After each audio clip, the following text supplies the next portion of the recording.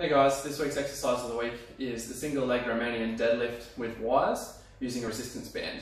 Um, so this is a great exercise for anyone that wants to improve their posterior chain strength.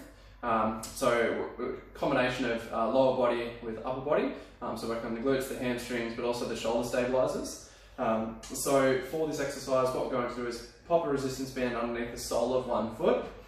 We're going to slightly bend the stance leg, making sure we keep both hips facing forward and nice and uh, neutral through the spine, so we're not arching or extending too much through the spine. Um, we're going to extend one leg out the back, going into our Romanian, uh, single leg Romanian deadlift.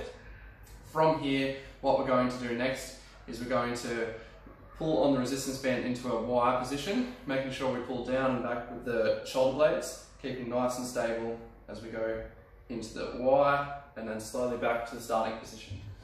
So to progress this exercise, we can increase the strength of the resistance band, or to regress, we can also do the same movement without any resistance. Um, you can also try the same movement with dumbbells, um, see how you go. That'll obviously increase uh, the stability required in the shoulders for the movement. Um, but give this exercise a try and see how it goes.